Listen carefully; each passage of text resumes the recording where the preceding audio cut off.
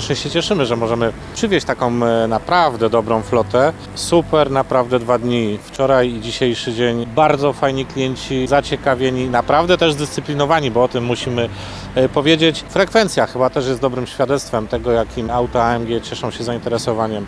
My jakby z punktu widzenia instruktorskiego jesteśmy super szczęśliwi zadowoleni.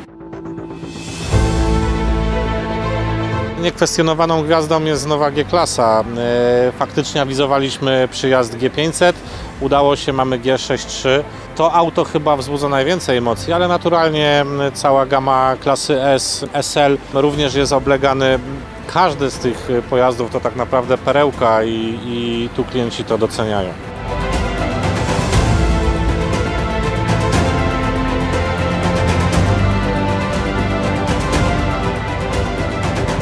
Komfort jazdy i wyposażenie powoduje, że no nie chce się wysiąść z tego samochodu. Wrażenia mocne, jak zawsze z AMG. G-klasa faworyt. najlepiej poczuć to auto właśnie, jeżdżąc nim, nie oglądając na e, obrazkach w salonie, tylko już się przejechać.